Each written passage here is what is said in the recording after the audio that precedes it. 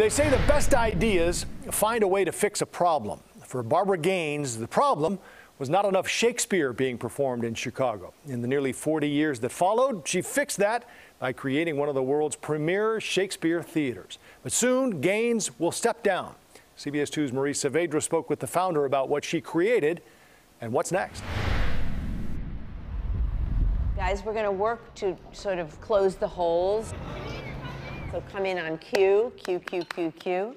We'll see what happens. On a stripped down set, He's always discovering things. deep into But rehearsals, very late. is where Barbara Gaines is at her best. You gave me none. You wrong me much to say With so. actors and the words of Shakespeare that transcend time. The show is the Comedy of Errors. Gaines' final production as artistic director of Chicago Shakespeare Theater. I'm not sure what time is anymore, but I do know I'm having a good time, and that I think that's what matters. 37 years of time, in fact, that Gaines used to indelibly impact the arts in the city of Chicago.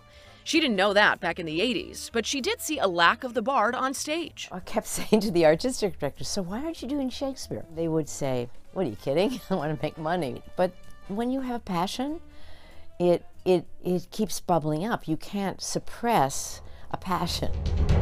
It bubbled up to the roof of Lincoln Park's Red Lion Pub, where in 1986 she directed Henry V, holding her breath. I was afraid that there would be rain on the roof of the pub. We only could play for two or three weeks.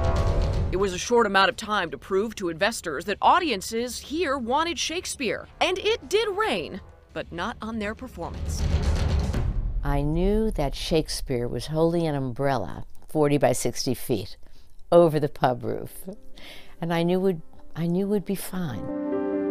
A year later, the theater had a roof over its head to stage Troilus and Cressida at the Ruth Page Center for the Arts. But the near north side would not be home for long. Incredible growth in audiences and donors drew the attention of Navy Pier. And they saw our shows and made this wonderful offer, which you could not refuse. Sure. The move to the pier in 1999 gave Chicago Shakespeare Theater the room to stretch its legs with more productions that we have divided in three our kingdom. and gave Gaines and her team the chance to design a space built for the bard. I've come here to be in your company, Master Shakespeare. This is a moment of uh, peace. And if you're lucky, uh, excitement. You know? Yeah. That's what we try for. Gaines has been successful in that mission, leading what has become a first class cultural institution and a crown jewel for one of the greatest theater cities in the world. Then in 2019, she had a thought. I just finished directing two shows that year, and I went, I think that's all.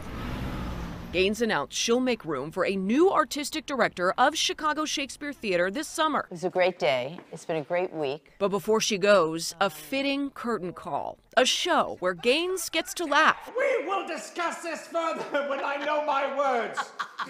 and create with actors who've come back to celebrate her. You're remarkably well preserved for the age you have chosen to be. A theater with impact that Gaines has made as timeless He has no idea. as the work of Shakespeare himself. It's a true love letter to the actors of Chicago, the designers I've worked with, because this show is about the joy of performance on stage and off, and the fun you can have uh, with a life in the theater. All I can say is keep up the good work and remember your lines. I will see you tomorrow. On Navy Pier, Marie Saavedra, CBS 2 News. Don't think Gaines is hanging up her hat for good. She's currently working on a new musical. The Comedy of Errors runs through April 23rd, which is Shakespeare's birthday.